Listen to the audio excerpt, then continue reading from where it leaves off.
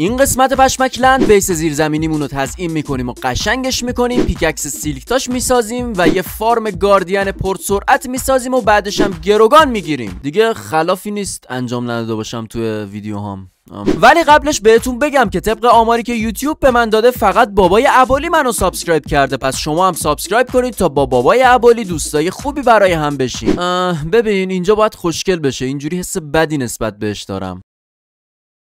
آها حالا بهتر شد. ولی این کار راحت نبود و به خاطرش ستون وسط cave و خراب کردم تا جاش یه چیزی بسازم و از سنگاشم استفاده کنم. بعد از اونم زمینش رو صاف کردم که build کردن توش راحت تر بشه. نقشه که داشتم این بود که یه ستون جدید بسازم ولی به شکلی که بشه ازش چیزای مختلف آویزون کرد. منظورم از چیزای مختلف بعدا می‌فهمیم حالا وقتش بود که XP جمع کنم چون برای ساختن اون ستون نیاز به silk touch داشتم که بتونم ore های مختلف روش بذارم که قشنگتر بشه.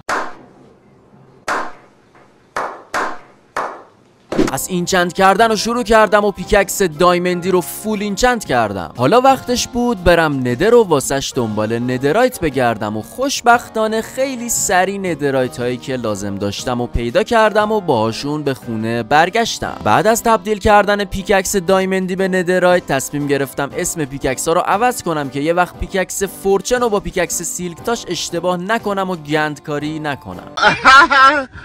حالا دیگه وقتش بود ore هایی مثل gold، redstone، lapis و حتی diamond رو بردارم و توی جایی که ساختم قرار بدم که یکم جذابتر بشه و البته طبیعیتر جلوه کنه چون به هر حال cave ه و بعدش هم دیدم ساختن farm فامیلای عباس برام کافی نیست. برای همین تصمیم گرفتم عمه‌ش و گروگان بگیرم و به base ببرم و اونجا زندانیش کنم و تن عباس رو تو گور بیشتر بلرزونم. راستی اسم عمه عباس اقدس بود. چه اسم جذابی. آره. خلاصه که با هر بدبختی بود عمه عباس رو به خونه آوردم و توی زندان کردمش. گذاشتمش. زندان تو زندانیش کردم. آره.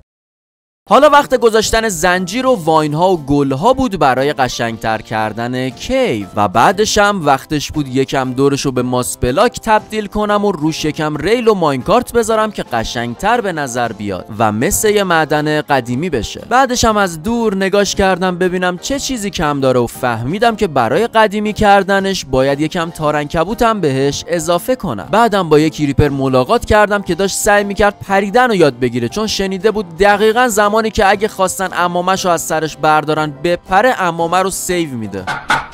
خیلی دوست دارم این هاردکورم مثل SMP RP جدی داشته باشه. من RP جدی رو خیلی دوست دارم. اگه نمی‌دونید SMP ما پر RP جدیه.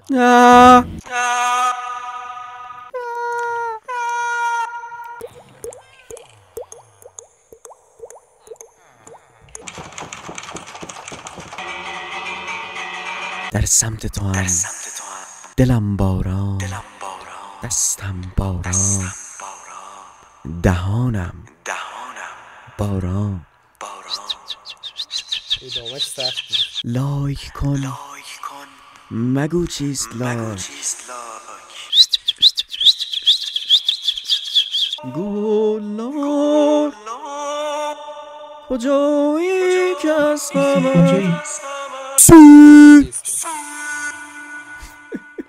خب نه این این مال یه سمپی دیگه است. آره. ولی ما بهترین سمپی رو داریم. توش کلی ماینکرافت بازی می‌کنیم.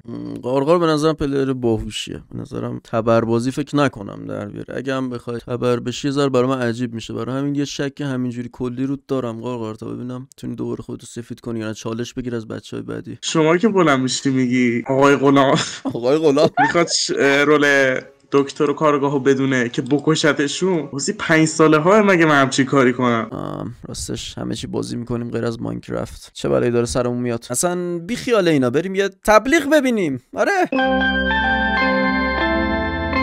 آیا از چاقی رنج می‌برید؟ آیا ورزش مناسب لاغری خود را پیدا نمی کنید؟ با پکیج های بابای ابولی می‌تونید خیلی سریع لاغر بشوید برای سفارش این محصول کافیه کامنت بذارید حالا وقتش بود یکم iron ore جمع کنم و به cave اضافه کنم که طبیعی تر بشه و شبیه cave ای خود Minecraft بشه. و بعدم همونطور که گفتم باید یه سری تارنکبوت به cave اضافه می‌کردم تا قدیمی تر به نظر بیاد. حالا یه اتاق مخفی زیر زمین درست کردم و توشو با deepslate تزیین کردم تا بعدش به Nether برم و کلی gold جمع کنم که داخلش بذارم و شبیه یه اتاق گنج بشه. چی میگی؟ از کل Nether رو گشتم و دور برم هرچی gold بود برداشتم. بالاخره یه خونه دیگه اضافه کردم که خونه نجار بود و مثلا یه نجار توش زندگی می‌کرد. و بعدش هم جلوی درش یکم چوب و اینا گذاشتم که مثلا چوب قطع کرده و گذاشته تا بتونه باشون ابزار مختلف چوبی درست کنه. بعدم دم درش رو تزیین کردم و جلوی درش یکم چوب و کدو و campfire گذاشتم که کار تزیین خونه نجارمونم تموم بشه. subscribe کردی دیگه ها؟ بعدش چند تا villager از villager breeder آوردم که توی shop ها برن و بازارمون